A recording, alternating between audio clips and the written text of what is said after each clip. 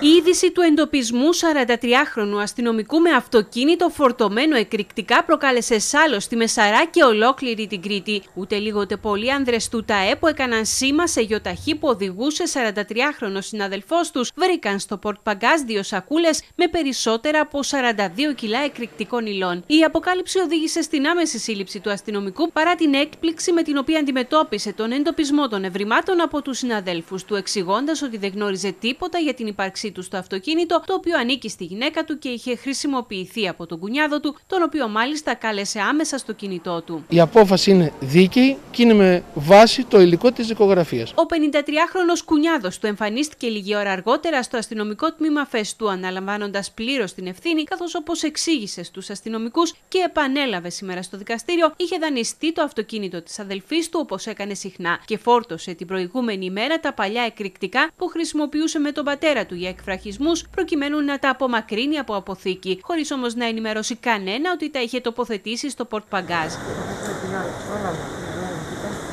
Ζήτησε μάλιστα δημόσια συγγνώμη που υπέβαλε τον κουνιάδο του σε αυτή την περιπέτεια που λίγο έλειψε να του κοστίσει ακριβά εξαιτίας της ιδιότητας του αστυνομικού. Εκδόθηκε μια δίκαιη απόφαση βάσει των δεδομένων της δικογραφίας.